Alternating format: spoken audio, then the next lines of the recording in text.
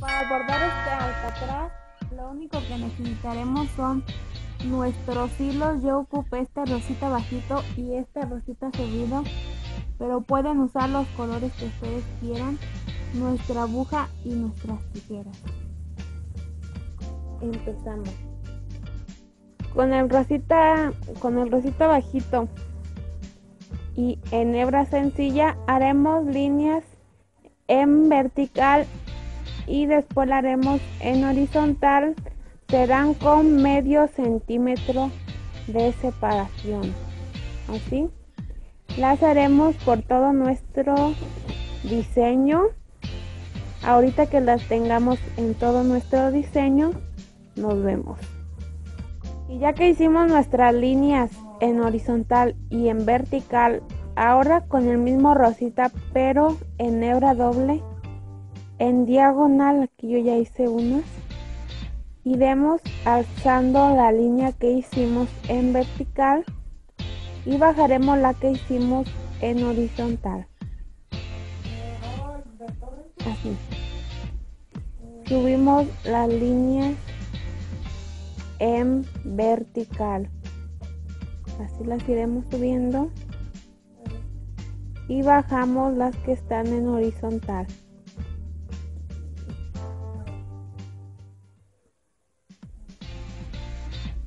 así las iremos subiendo por toda nuestra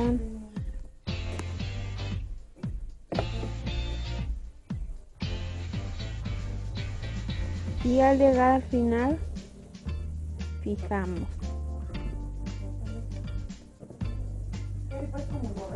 Y así es como nos debe de quedar en diagonal